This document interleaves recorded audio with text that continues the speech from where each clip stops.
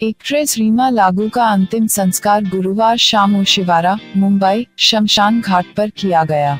इस मौके उन स्टॉज में से ज़्यादातर गायब रहे, जिनकी माँ का रोल रीमा ने किया था। खासकर सलमान की बात करें तो रीमा ने सात फ़िल्मों में उनकी माँ का रोल किया था।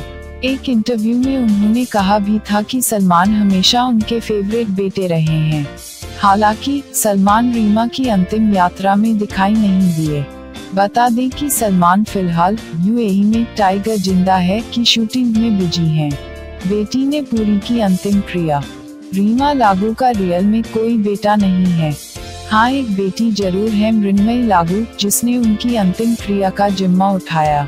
रीमा को अंतिम विदाई देने काजोल ऋषि कपूर, किरण कुमार, राकेश बेदी, तन्वी आजमी और राजा मुराद सहित कई सेलेब्स दिखाई दिए।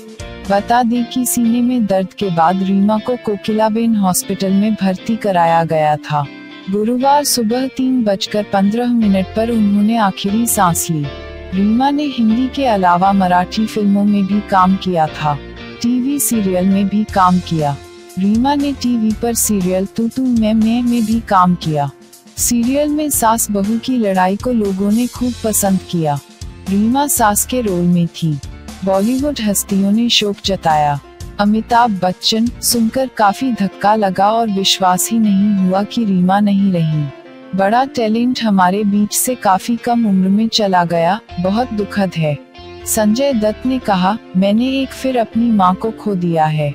मैंने उनके साथ हर फ़िल्म में कुछ नया सीखा है।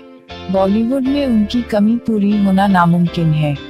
प्रियंका चोपड़ा ने लिखा, रीमा लागू का निधन सिनेमा को एक बड़ा नुकसान है। आप हमेशा हमारी ऑन स्क्रीन फेवरेट मम्मी रहेंगी। माधुरी दीक्षित टैलेंटेड ब्यूटीफुल रीमा लागू को हम हमेशा मिस करेंगे। मेरी साथवनाएँ उनके परिवार के साथ हैं। ऋषि कपूर के मुताबिक रीमा के साथ कुछ ही फ़िल्मों में काम कर सका। पर वो मेरी अच्छी दोस्त रही। दिल से उन्हें श्रद्धांजलि। आलिया भट्ट ने लिखा रीमा जी की खबर सुनकर बहुत बुरा लगा। वो बेहतरीन अदाकारा थी। मुझे हमेशा उनका काम पसंद आया है।